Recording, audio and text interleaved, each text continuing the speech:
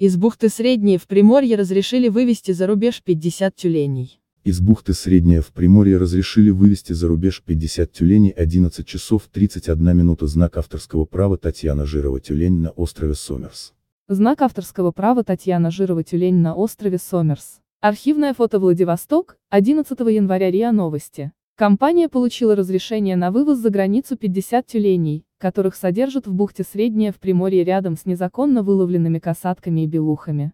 Как сообщил РИА Новости руководитель общественной организации «Экологическая вахта Сахалина» Дмитрий Лисицын, экологам стало известно от волонтеров о том, что ООО «Приморский дельфинарий» получило разрешение на экспорт 50 тюленей в китайский Тиньцзинь с целью содержания. 20 декабря 2018 года, 12 часов 14 минут экологи ждут решения об освобождении касаток из неволи в Приморье по сути, тут нарушения закона нет, и компания ничего не нарушает. Вопрос здесь морального аспекта, насколько наше общество согласно, что тюленей вылавливают у нас и продают за рубеж, сказал Лисицын. По его словам, тюлени содержатся в бухте средней на территории, смежной с вольерами касаток и белух, которых поймали незаконно, но компания Приморский дельфинарий отношения к касаткам и белухам не имеет. Представитель администрации Приморья подтвердил РИА Новости, что разрешение на вывоз тюленей выдали в Россельхознадзоре. Россельхознадзор выдавал, сказал собеседник. Представитель управления Россельхознадзора по Приморскому краю подтвердил факт выдачи разрешения,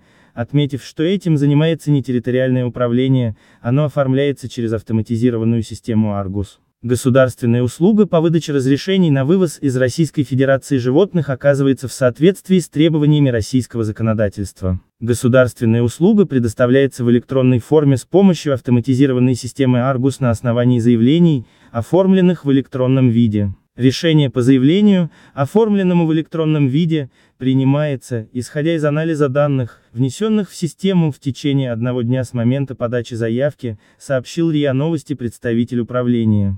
17 ноября 2018 года, 8 часов ровно касатки воды у, кому выгодна китовая тюрьма Раньев. Greenpeace. Заявили, что готовятся незаконные продажи из России в Китай 13 краснокнижных касаток, за последние пять лет туда вывезли 15 этих млекопитающих. Экологи отмечали, что по меньшей мере 11 из 13 касаток содержались в бухте Средней недалеко от находки. Росприроднадзор изучал проблему вместе с погранслужбой. Владивостокская природоохранная прокуратура сообщала, что найдены нарушения Росрыболовства и компаний, которые отловили животных. Тихоокеанский флот информировал, что готов помочь в транспортировке касаток и белух после того, как специалисты определят место выпуска и необходимое для перевозки оборудование.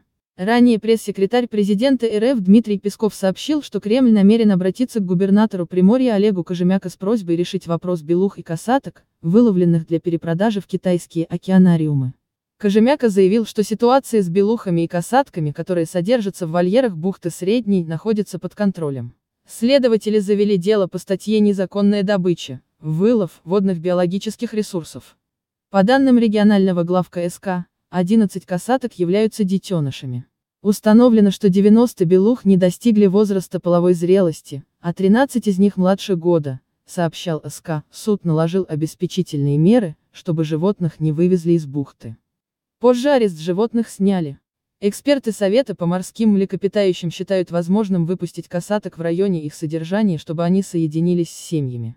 Недавно стало известно, что три белуки пропали.